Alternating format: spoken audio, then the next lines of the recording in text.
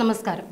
ഉമ്മൻചാണ്ടിയുടെ കുടുംബത്തെ മുഴുവൻ സഖാവ് വി എസ് അച്യുതാനന്ദൻ അപമാനിച്ചത് സി പി എമ്മിന്റെ നിർദ്ദേശപ്രകാരമായിരുന്നു എന്ന വെളിപ്പെടുത്തലുമായി ആർ എസ് പി സംസ്ഥാന സെക്രട്ടറി ഷിബു ബേബി ജോൺ. ഉമ്മൻചാണ്ടി ആരെയാണോ സംരക്ഷിക്കാൻ ശ്രമിച്ചത്? അവർ തന്നെ അദ്ദേഹത്തിനെതിരെ വ്യാജരേഖ ചമച്ചുവെന്നും ഷിബു ബേബി ജോൺ പറഞ്ഞു. അന്ന് പാർട്ടി എഴുതി കൊടുത്തത് വി എസ് നിയമസഭയിൽ വായിക്കുക മാത്രമാണ് ചെയ്തത്. ഇക്കാര്യത്തിൽ തെറ്റ് സംഭവിച്ചുവെന്ന് സി പി എം ആത്മാർത്ഥമായി തന്നെ പറയണമെന്നും ഷിബു ബേബി ജോൺ ആവശ്യപ്പെട്ടു. വിഷയത്തിൽ ഷിബു ബേബി ജോണിന്റെ വാക്കുകൾ ഇങ്ങനെയാണ്. സോളാർ വിഷയത്തിൽ നീചമായ രീതിയിൽ വ്യക്തിഹത്യ നടത്തിയവരാണ് ഇപ്പോൾ ഉമ്മൻചാണ്ടിയെ വാഴ്ത്തുന്നത്. ഉമ്മൻചാണ്ടി മന്ത്രിസഭയിലെ ഒരു മന്ത്രിക്ക് തന്റെ ഭാര്യയുമായി അവിഹിത ബന്ധമുണ്ട് എന്നാണ് ബിജു രാധാകൃഷ്ണൻ എറണാകുളം ഗസ്റ്റ് ഹൗസിൽ വെച്ച് അദ്ദേഹത്തോട് പറഞ്ഞത്. എന്നാൽ എന്റെ അടുത്ത് സ്വകാര്യമായി പറഞ്ഞൊരു കാര്യം ഞാൻ പുറത്ത് പറയില്ല എന്നാണ് എതിരാളികൾ ആഞ്ഞടിച്ചപ്പോഴും ഉമ്മൻചാണ്ടി പറഞ്ഞത്. കഴിഞ്ഞ മൂന്ന് ദിവസം ഉമ്മൻചാണ്ടിയോടുള്ള സ്നേഹം ഈ നാട്ടിലെ സാധാരണ ജനങ്ങൾ പ്രകടിപ്പിക്കുകയുണ്ടായി. അതിന്റെ ഭാഗമായി പല പ്രതികരണങ്ങളും നിരന്തരം നമുക്ക് വീക്ഷിക്കാനും പറ്റി.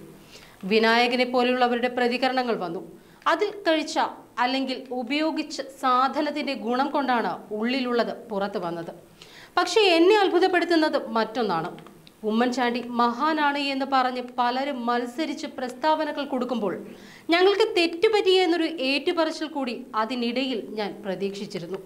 രാഷ്ട്രീയ എതിർപ്പുകളെ രാഷ്ട്രീയമായി നേരിടുന്നതിന് പകരം ഏറ്റവും നീചമായ രീതിയിൽ വ്യക്തിഹത്യ നടത്തുകയാണ് അവർ ചെയ്തത്. ഇതൊക്കെയാണ് നമ്മൾ ചർച്ച ചെയ്യേണ്ടത്.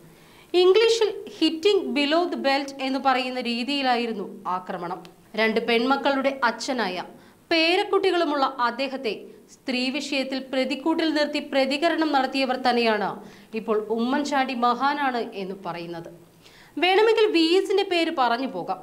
പക്ഷേ ആ അഞ്ച് വർഷക്കാലവും വി എസ് സ്വന്തമായി ഒന്നും പറഞ്ഞില്ല. ആ അഞ്ച് വർഷവും ആരും എഴുതി കൊടുത്തത് വായിക്കുക മാത്രമാണ് അദ്ദേഹം ചെയ്തത്. അപ്പോൾ അതിനു പിന്നിൽ ആ പാർട്ടിയുടെ നിലപാട് തന്നെയായിരുന്നു എന്നത് വ്യക്തമാണ്. ഞാൻ ഉമ്മൻചാണ്ടിയുടെ മഹത്വം കാണുന്നത് ഇതിലൊന്നും തന്നെയല്ല.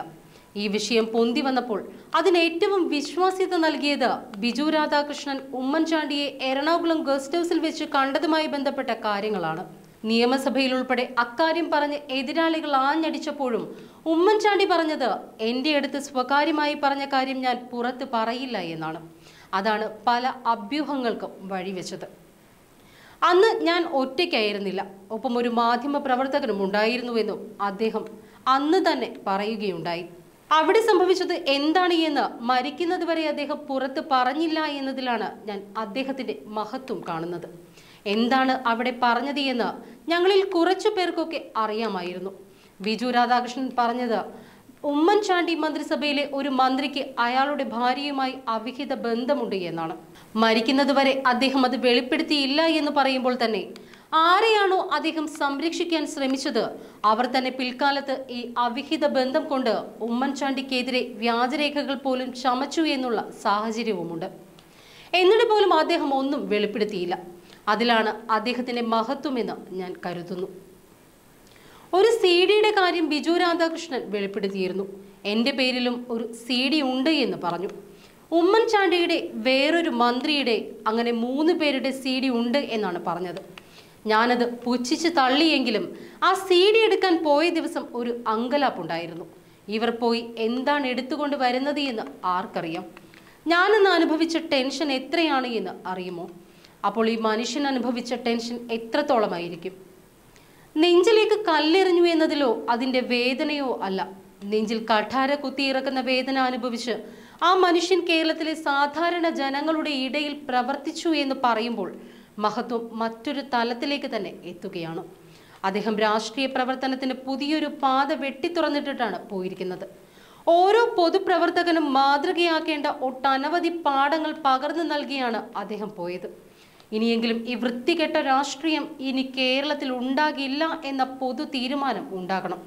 അതാണ് എനിക്ക് പറയാനുള്ളത് എന്നും ഷിബു ബേബി ജോൺ പറഞ്ഞു.